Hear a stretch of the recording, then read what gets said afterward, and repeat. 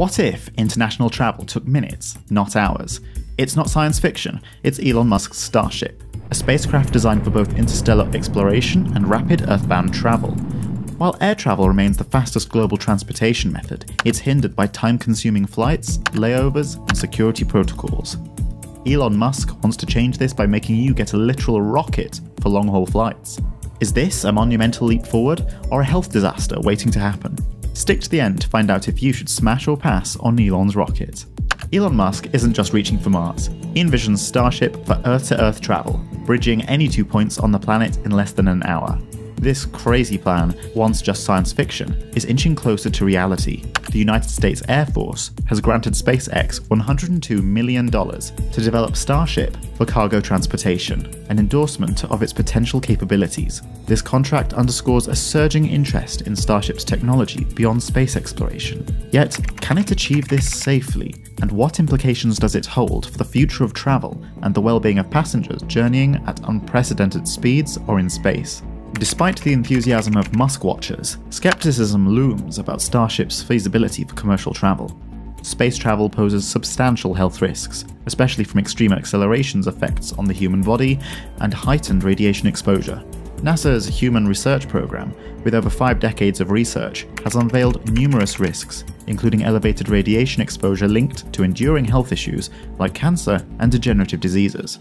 The physical toll of space travel further complicates matters.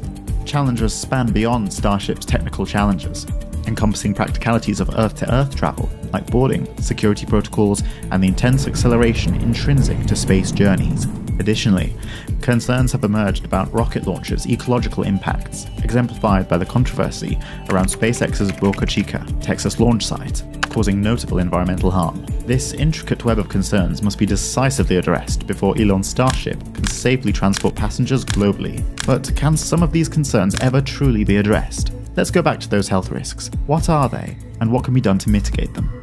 Space travel exposes the human body to higher levels of ionizing radiation than typically encountered on Earth, which, at elevated doses, can result in long term health issues like cancer, heart problems, and cataracts. To combat this challenge, SpaceX is actively developing technology incorporating deflecting materials such as Kevlar and polyethylene into spacecraft and spacesuits to shield travelers from radiation. Furthermore, specific diets and supplements, like Enterade, are being explored to minimize the effects of radiation.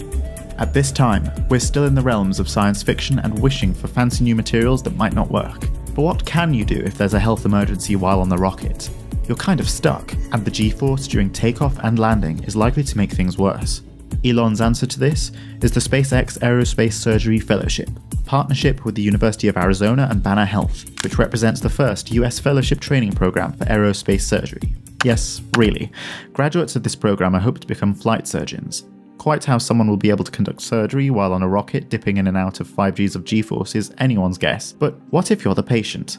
Beyond radiation, there's significant apprehension around the effects of G-forces on the human body, the risk of space sickness, and the complexities of delivering emergency medical care on board a rocket. Astronauts and commercial passengers, even if critically ill, would be forced to undergo extreme G-forces of 4 to 5G during re-entry into Earth's atmosphere, an experience profoundly discomforting for even healthy individuals.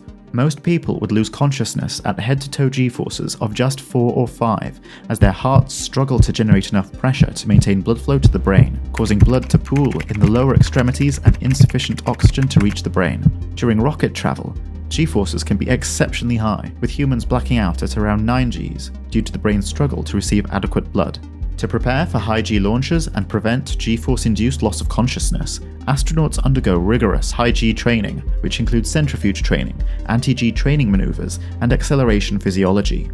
Centrifuge training involves sitting in a centrifuge machine that spins at high speeds to simulate the G forces experienced during a rocket launch. Anti G training maneuvers comprise of breathing and muscle tensing exercises to enhance blood flow to the brain and avert G force induced loss of consciousness. Furthermore, space sickness, or space adaptation syndrome, can affect astronauts when changes in g forces disrupt their spatial orientation in microgravity. Space adaptation syndrome symptoms encompass nausea, vomiting, headaches, dizziness, and disorientation and are experienced by 60 to 80% of space travelers during their initial 2 to 3 days in microgravity. High-G training is employed to boost astronauts' tolerance to the acceleration forces experienced during rocket launches.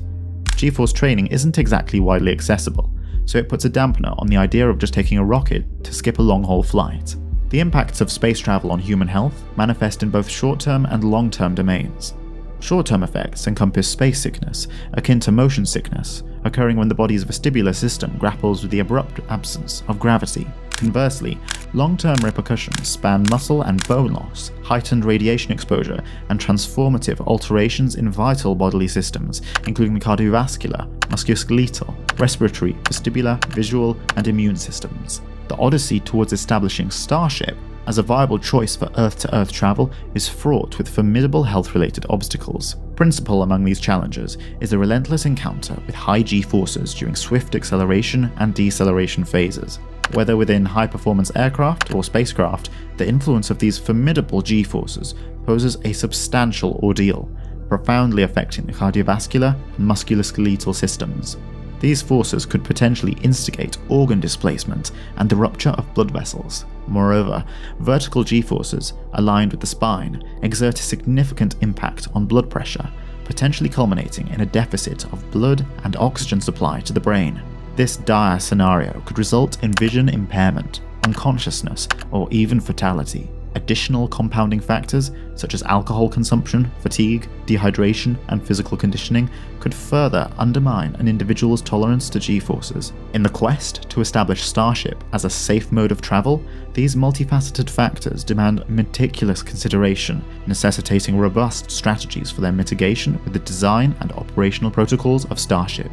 To that end, SpaceX is collaborating with regulatory bodies, like the Federal Aviation Administration, and the company has embarked on safety reviews to try and mitigate these risks. These reviews encompass evaluations of safety organization, safety system processes, flight safety analysis, and quantitative risk criteria for launch, re-entry, and vehicle disposal. How much can realistically be achieved is still an open question, but given Elon's reputation, it's prudent to be skeptical. The future will reveal how Elon Musk's SpaceX addresses the concerns raised by the medical community, but it's looking like Earth to Earth travel via rocket might never take off. Want to learn more in health? Watch this next.